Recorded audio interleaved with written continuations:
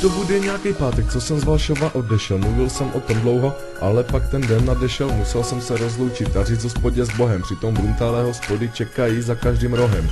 Jenže žádná není tak, jaká je ve Valšově, to proto, že není ve městě, ale na venkově. I když do Valšova jezdím vlastně každý pátky, tak bych některé akce stejně nejraději vrátil zpátky.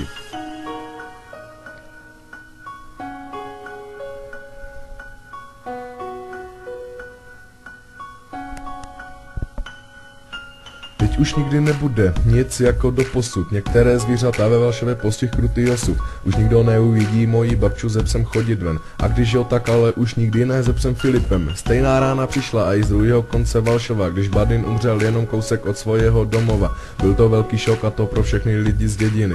Brali jsme je tak, že jsou součástí naší rodiny. Tak to bohužel chodí, jak u zvířat, tak i u lidí.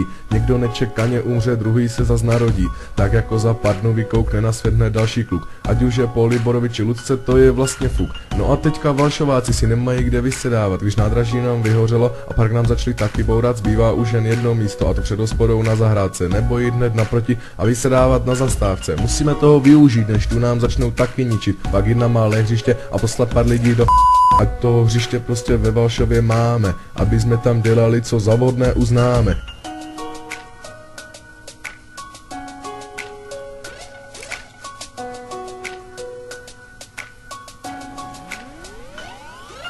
Když klub nám zakázal a smál se nám jak kašpar, ani den jsme nečekali a zprovoznili si Valbar, to je jediný místo, kde se ti prostě fakt uleví. A ten, kdo tvrdí opak, tak ten o tom ví velký kulový. Ve Valšově jsem v týdnu o víkendech a o prázdninách, bo to, co jsem tam prožil, tak na to se nezapomíná, jenom jsem chtěl říct rychle, stručně a jasně, že ve Valšově bude až do konce světa krásně.